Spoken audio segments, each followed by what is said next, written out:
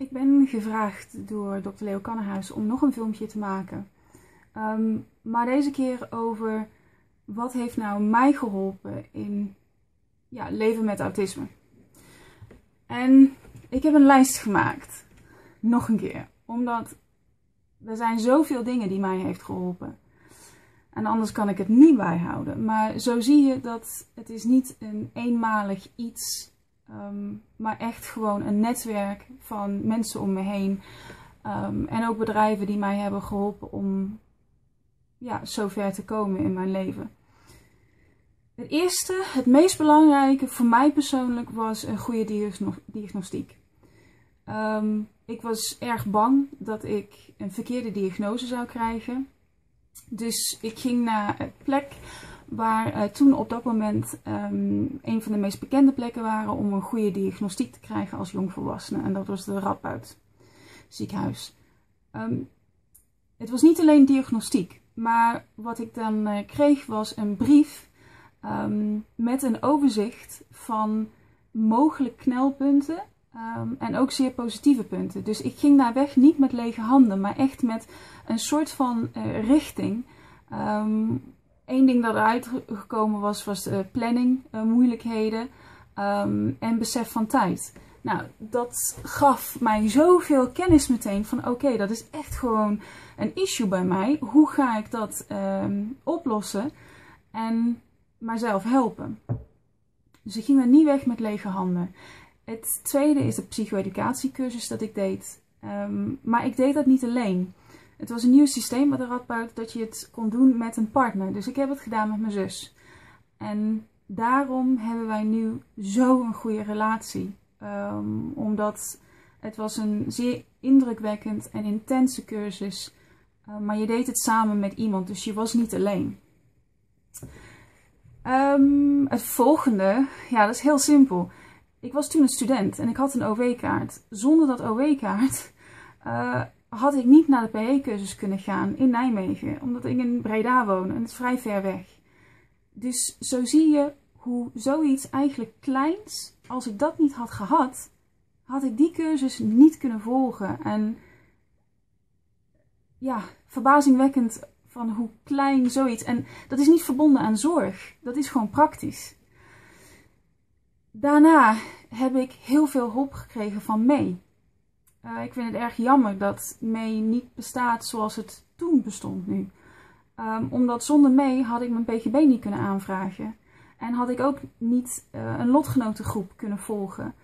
Um, en had ik ook vrienden niet kunnen maken die ook autisme hadden en die op die reis uh, waren.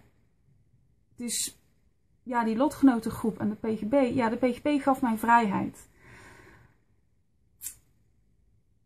Het geeft vrijheid in ook het kiezen van met wie je wil samenwerken. Het is heel persoonlijk. Als je je hele leven bloot gaat leggen. Als ik echt gewoon hulp wou hebben, ik wist, ik moest heel eerlijk zijn. En dat is moeilijk. En ik denk dat dat vergeten wij vaak, hoe moeilijk dat eigenlijk is.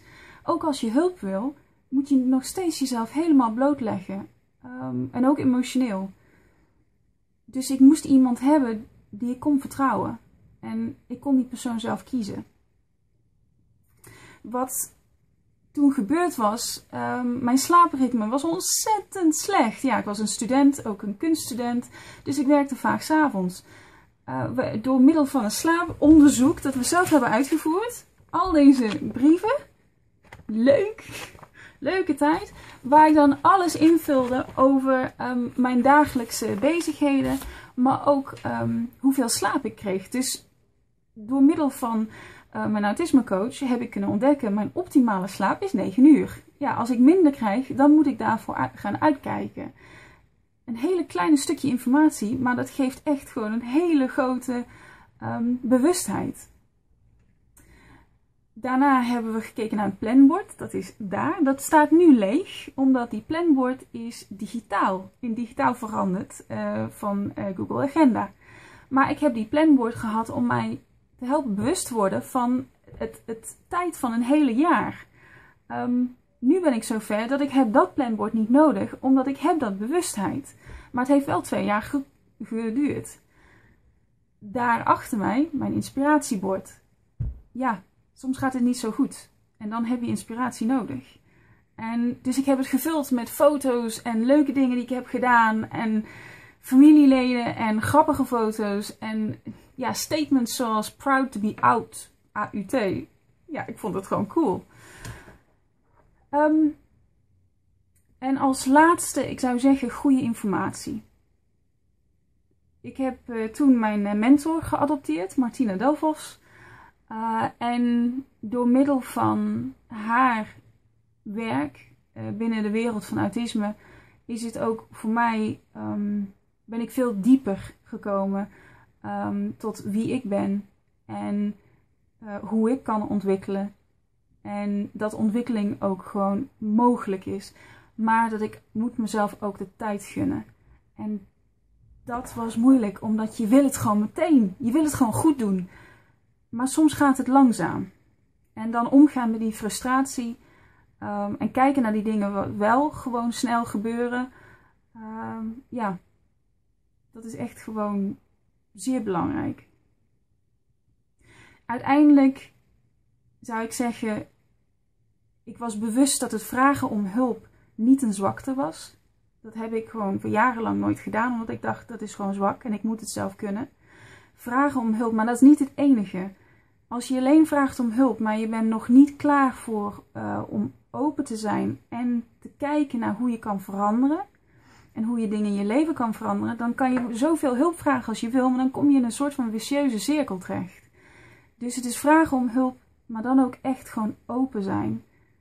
En kijken dat misschien dingen die je doet op een andere manier kunnen. En misschien is dat veel, veel effectiever.